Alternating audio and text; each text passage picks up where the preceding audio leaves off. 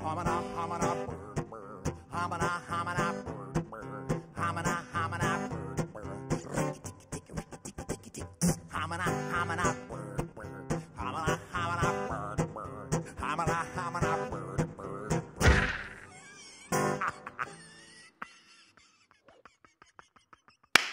Отже, чому я вирішив зробити огляд гри, котрій вже років і років і років, і котра не така вже популярна? По-перше, ця гра для мене дуже особлива і мені персональна. По-друге, її я спокійнесенько можу порекомендувати усім фанатам виживачів, котрі, як і я, періодично переживають відключення світла. Тому так, прошу вітати і поціновувати. Найдивніший виживач у світі.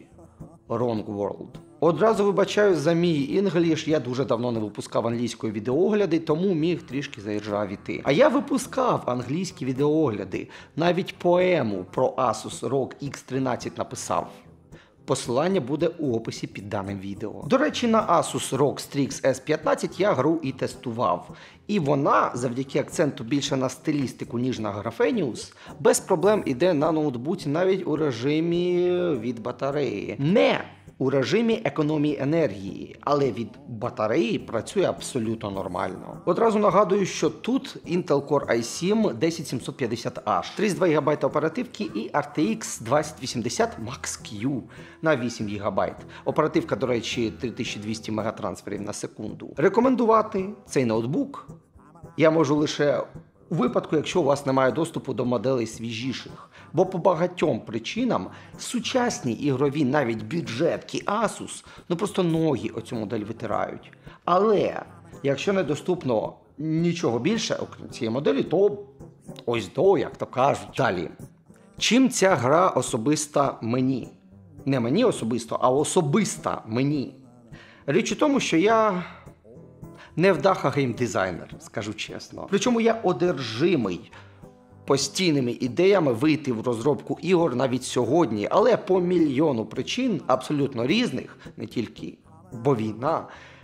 Я просто не можу не називати себе невдахою. Втім, я на ігроіндустрію все ж таки більш-менш, але відчутно вплинув, як би це не звучало. Власне, по моїй рекомендації, розробник гри Wrong World додав у неї піщані замки. І тут би підійшов оцей мем абсолютно ідеально. І так, я дуже сильно цим пишаюсь. Втім, вас це не дуже турбує, правда? Вас турбує, якого собачого на екрані взагалі відбувається зараз. І так, я вас розумію. Wrong World, як ви вже з назви мали здогадатись, це не зовсім правильне діло. Починаючи від головного героя, котрого я інакше як чмумбрик назвати не можу, і закінчуючи абсолютно усім, що відбувається на планеті, на якій він розбився. Завдання гри у цілому просте: вижити, побудувати свій Falcon 69 та Ілон маскнути з планети, хоч на Марс, хоч куди завгодно. Але модифікуючи анекдот про Василя Івановича та Петьку, є один нюанс. Модифікуючи, бо нюансів насправді декілька. Заважати вам зробити те, що ви маєте зробити, буде той факт, що гра власне виживач або survival. Не survival horror, просто survival. А це значить, що наша мохнатушка аморфної статі повинна регулярно робити жрамши, пити рідини різних кольорів та консистенцій. А у випадку гри на хардкорі, після втрати усіх одиничок життя наступає кінець гри. Ну не зовсім, але. Це вже спойлери. І йдемо далі. Геймплейно перед нами традиційний виживач. Бігаємо по карті, збираємо ресурси, менеджимо інвентар, будуємо хату, садок вишневий біля неї. Ну добре, не вишневий, там багато чого, але вишень там точно нема. Хоча технічно. Ні, то не вишні. Будуємо собі усілякі сокири, пилососі та дев... дер... дер... дерев'яні мамки, маски, дерев'яні маски і е, Ілона Маска. Варимо зілля, шукаємо спосіб повернутися у темний холодний вакуум космічних безкінечностей, аби подалі від оцих ось створіннячок. І я описую, як це щось буденне, бо механічно гра дійсно проста та заземлена. Як би це не звучало. До певного моменту грати дійсно відносно просто і очевидно. До певного моменту. Був додаток до того, що інструкцій всередині Wrong World майже немає, сама гра, яка завгодно, але не пересічна або очікувана. Вороги, вони ж монстри та навіть боси, котрих більше одного абсолютно унікальні. Тут вам і закам'янілі колобки, і гигочучі глисти довжиною 8 метрів, і прибульці гігера, і агресивні слимаки плювалки. Скажу чесно, якщо б у грі з'явилась пасхалка з якимось чорнобильським мутантом на кшталт цих, я б не здивувався. Бо відсилок то багацько. Відсилку до планети мав захищають бойових жаби зі шпателями, а наш головний герой головою добуває ресурси. Я не знаю, до чого це відсилка, це просто дивно. І добуває він головою у прямому сенсі. Доки у вас не буде специфічного інструменту, ви будете буквально довбитись головою хоч у дерево, хоч у гігантські каменюки. Описати сам дизайн, не те, що дизайн, а естетику гри мені дуже важко, бо я ніколи не зустрічав подібного стилю. І я навіть не кажу про стиль графіки, я кажу про тематику світу навколо. Це такий собі агресивний, вичурно-гумористичний постмодерн, котрий продовжується і у звуковому дизайні також.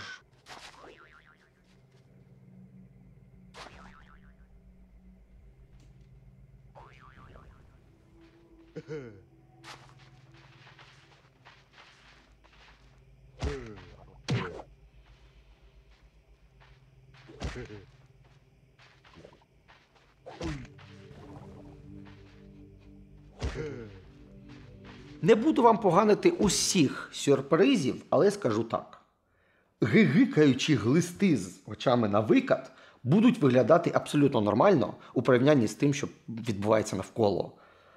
До божевілля починаєш звикати. Як тільки перестаєш ржати з зовнішнього вигляду усього, що бігає навколо головного героя, е, танцює, е, бігає і так далі, до цього звикаєш. Є один нюанс.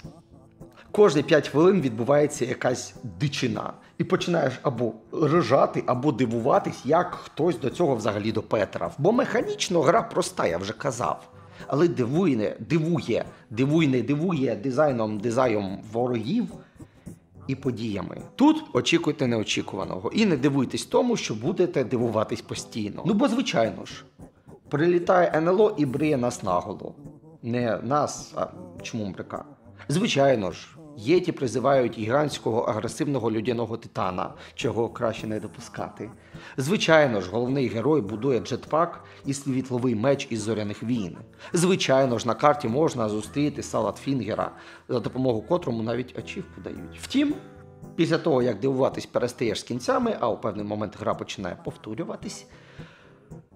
Ти починаєш розуміти, що механіки взагалі-то у Wrong World дуже відточені і дуже приємні. Бойова система тут, по суті, від Dark Souls.